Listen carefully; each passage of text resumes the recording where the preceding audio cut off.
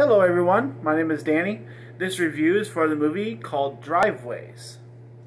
This is a 2019 film that came out in May of 2020 here in the USA and it runs a little under an hour and a half. It stars Hong Chau, Lucas Jaye, Brian Dennehy, and I guess it does not come with a rating. So the description a lonesome boy accompanies his mother on a trip to clean out his late aunt's house and ends up forming an unexpected friendship with the retiree who lives next door. This is Driveways.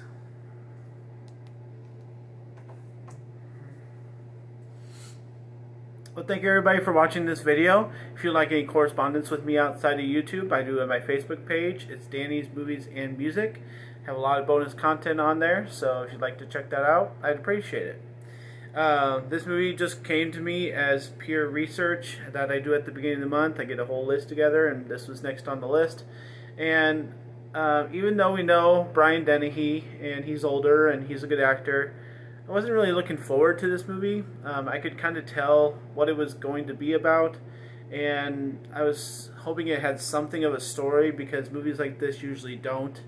Um, it's just the life and time of some people in the span of a month or two, and movies that do this, they can be rather boring because they don't really have a point. You know, they're just a story of someone's life, someone's experience within the span of a timeline of you know sometimes it's a day if it's like a romance or it could be like a week if it's you know like a family thing and uh, you know we see ones like from high school graduation that are a couple months for the summer you know?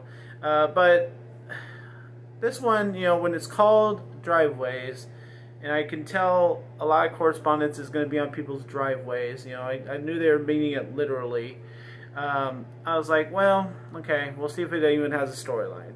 So the bright spots of this movie are our little boy, Cody, and of course the neighbor next door, and the friends that he, the friends that Cody encounters.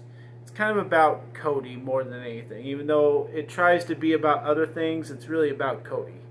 And so the two friends that he does make are nice. It's a nice part of the movie. It's a nice feeling, you know, for an eight slash nine year old to make friends, even though he's in an area not for that long. You know, it's nice to have some people his own age around.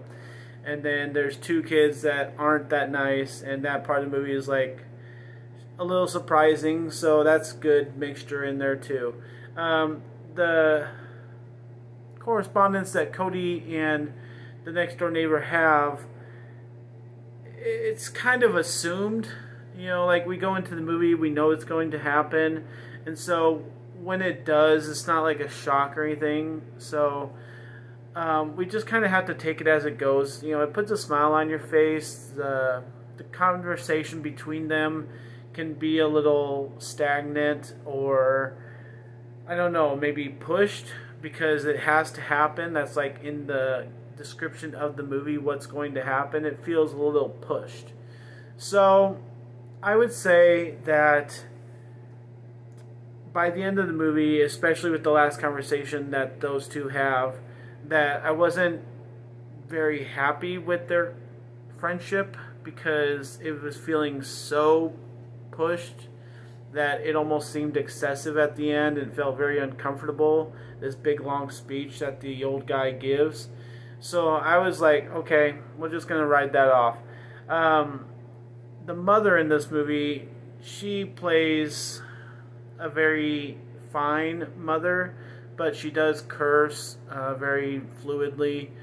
She doesn't mind drinking. She doesn't mind standing up to people and being crass. And then she's nice when she has to be, and she has to kind of tell people why she's at the house, you know um, cleaning out you know this person's stuff and has to have those conversations and that seems very real you know I mean if someone you know I mean my family just did that with a neighbor of my mother um, you know we heard she passed so we gave a card to the funeral home. I mean that's a normal thing to do.